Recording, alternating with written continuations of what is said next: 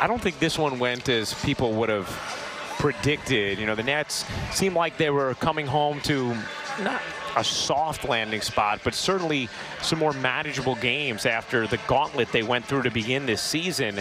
And you thought you were going to see desperation from this team as well, given the one and four start.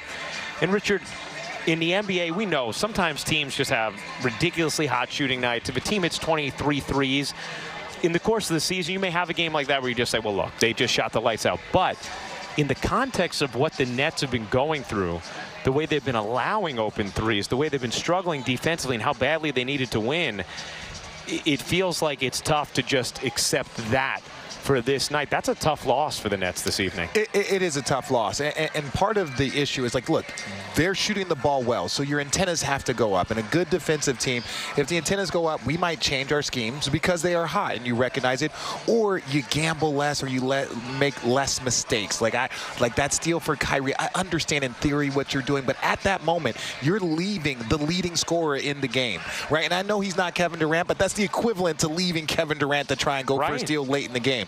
And so, you know, they're in such a hot mode that they're making you pay for all of your mistakes. And uh, we talked about it probably three or four times tonight. Like, oh, you can't leave the corner. You can't leave the corner. And these are high level, high IQ. Ky- Kyrie has played in multiple NBA finals. He knows, you know, the mistakes that you can and can't make. So there was a lot of gambling that wasn't necessary, especially when a team is shooting that hot.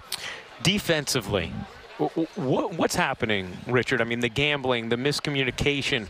Why is that happening with such consistency? How do you correct that? Well, look, you have a ton of offensive players. Make no mistake, and so you have to do it. And you don't have a great, uh, a great uh, big man to like block shots or to clean up the glass. So you have to do it collectively. It has to be team defense.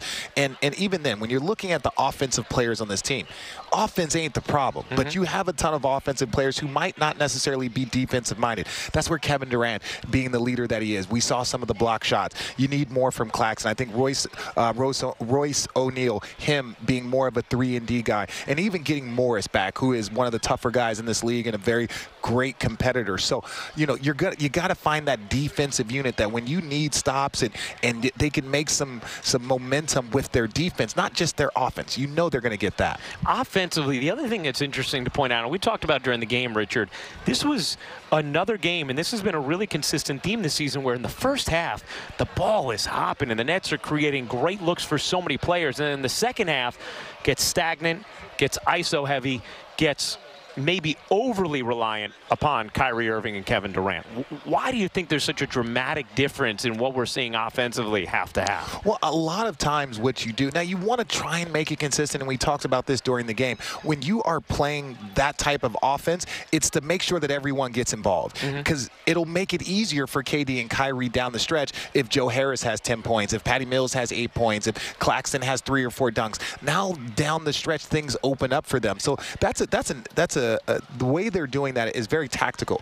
But you have to maintain that to a degree late in the game. And because they have so much offensive talent, even though KD and Kyrie are elite, they still have great players around them. So there should be more of a consistent assist effort down the stretch. Now, as much as things don't feel great right now for this team, a one in five start, a tough loss to Indiana we know it'll feel a whole lot better if they can just get a win. They have another opportunity to do that Monday against this same Pacer team, Richard. Well, yeah, and I think that game right there is going to show us, in my opinion, a lot about who these Nets are. This, to me, is somewhat embarrassing. You let a rookie go for 33 points on you. You you have a very young team that's inexperienced, that's coming off a back-to-back. If you're not in there pissed off, if you're not in there frustrated, and if you don't come out and try and send a message, maybe not even to the Pacers, send a message to your fan base, send a message to yourself as a team that yes, this was you know an embarrassing loss from a standpoint of like we could have performed better at a higher level.